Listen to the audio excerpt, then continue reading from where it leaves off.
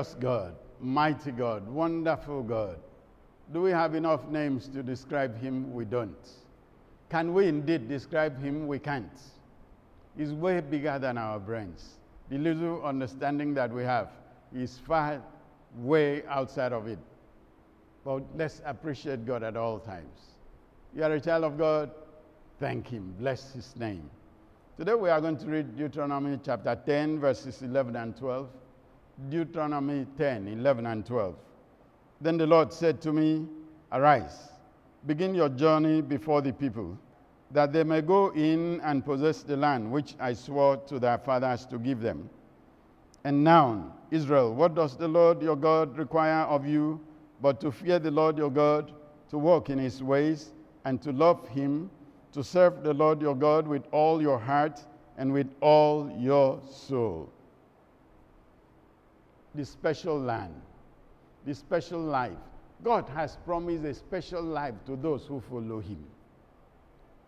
He said, This is the land that I gave as a promise. A life that God gives to you, which is a fulfillment of the promise that he gave to those who will follow him distinctively. Are you following God? There is a special life for you.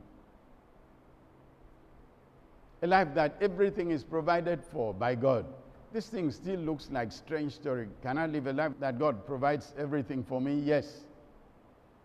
That the things that I need, God will show me in my dreams, if He's not speaking directly. That the things that should happen to me, I see them before they take place, because Jesus had said the Holy Spirit will teach you the things to come, will show you the things to come.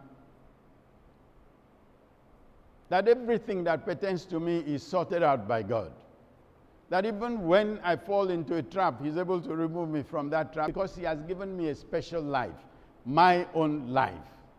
I am talking about the person who comes into that life that has been covenanted by God. Most of us don't realize that the life of the child of God is already covenanted unto God, is an old promise that is being effected. So, he told Moses, Look, move let these people understand that they are going into land because it is a covenant that I had already given. And I am bringing it to pass. Somebody's covenant has already been activated. The unfortunate thing is that sometimes we don't realize it. And what does God expect of us? That we serve Him, that we follow Him diligently, that we walk according to His commandments, that we obey His instructions I know that in our days today, we are not talking about commandments. Immediately you mention commandments, there are those who are going to condemn you. And they will tell you you are being legalistic. There is some imaginary grace for them that covers everything.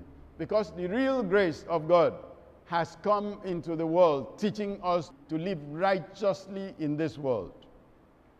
And you cannot define righteousness outside of commandments and instructions.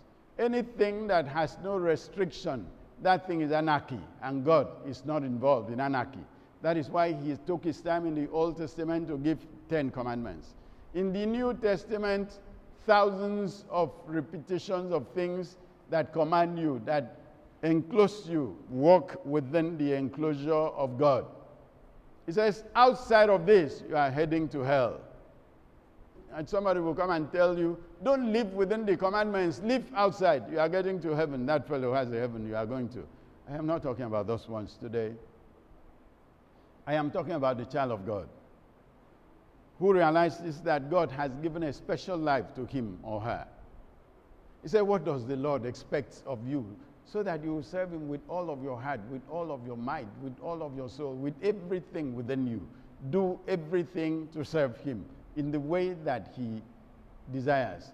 The scripture says, Be careful. Our God is a consuming fire. Therefore, serve him acceptably, the way he accepts, not the way somebody has defined for you, not the way somebody says, I have a special revelation of the scripture and tells you what his devils tell him to say. Follow the scripture as is, as is, the way it is. Leave those crazy interpretations. The children of Israel messed up the arrangement. We are still messing up our own today. To what extent have you messed up your own? To what extent have I messed up my own? Can I turn around? Can you turn around? Yes, all of us, we can. Can I do better? And can you do better? Yes, we can. Don't persuade yourself and don't allow yourself to be persuaded to continue to do evil.